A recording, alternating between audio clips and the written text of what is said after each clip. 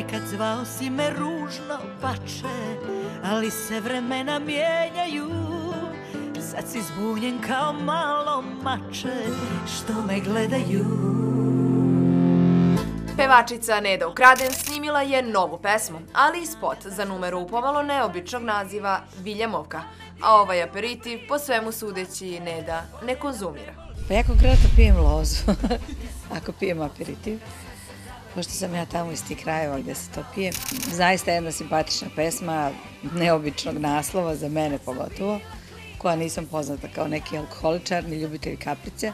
Dok nova pesma traži svoj put do publike, numera Dobrodošli šampioni već je postala hit, a u spotu se pojavljuju i pevačicine unuke, Aleksandra i bakina imenjakinja Neda. Aleksandra zna fino da pusti spot, da pritisne DVD player i tačno na to dugme gde treba da se pusti spot i igraju.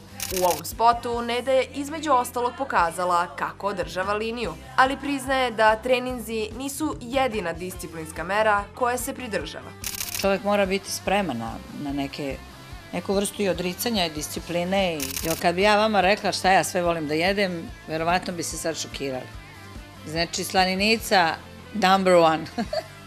sad kako je slaninici biti vitak teško. Uvek željna novih znanja, ova vlasnica dve fakultetske i diplome muzičke škole nedavno je upisala časove gitare, a iako su se mnogi iznenadili, ona na to gleda drugačije. Kad bi znali ljudi koliko je dobro svoj um zaokupiti nekom plemenitom veštinom, odnosno pokušajem da je savladate, onda bi se kanuli svih um, razno raznih poseta doktorima, poseta gatarama, vračbinama, očajanju, depresiji i gledanju manje više glupih serija.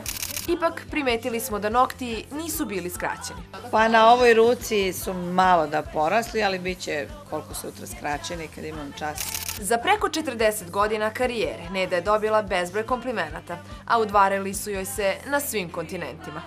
Udvaranje jednog australijskog državljanina, izvesnog Bobija, pevačica je na njoj svojstven način podelila sa našom ekipom. On se zaljubio u moju pesmu Zora je sva. Zora je sunula, suza je iz oka kanula. Mi se opraštamo narodu. Kaže, da li bi ti htjela da se udaš za mene? Kontam ovaj stvarno nije normalan. Gdje mene nađe majke ti, kud me u Oakland, Hajde da se šta bliže konta, pa i udala mi se, pa gdje ću Oakland? Gdje si misliš, gdje me prostiš za dva, tri dana, čoveče, sam se vidjela tri puta s tobom.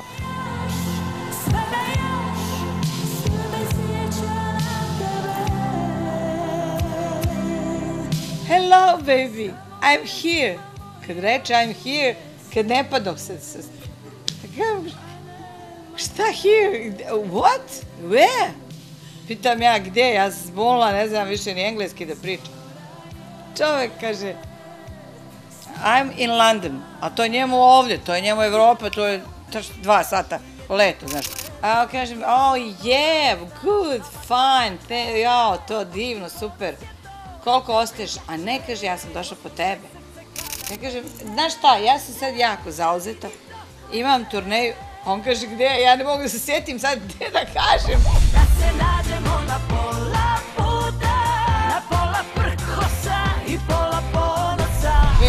Mi napišemo, jednoj mojoj Anđi, nesretnoj, koja je, koja je rekla, nosi vas, džavo, Vasi, dosta džavo, tebe i tvoje momke, neću ti ja lagat. Ja kažem, mama, molim te, napišem je ja ovako, velikim sad, ne vidim ti ja, šta mi ovo pišeš? Ja napišem, She is not at home. Nije kod kuće. ja se, javi se, i mama moja, srce moje milo. She is not at home. Se čovjek, pošto čuva engleski, on nastavlja dalje da pita. priča se. Ja, to je bilo, to je bilo najslađi koje sam u životu dvaranje čula. Znači, ubili su me tata i mama. Ma nema je, brate, kuć, ne znam šta ću ti reći. Nije noste đavo, tebe i nju. Aj zdravo. Uz maminu pomoć, ali i svojom autentičnošću, Neda je ostala jedna od najvećih balkanskih zavodnica. Možda na nekom od narednih koncerata ugledamo Nedu sa gitarom u ruci. Za sada ipak ovu glamuroznu muzičku divu gledate za volanom svog automobila. Pola poljubca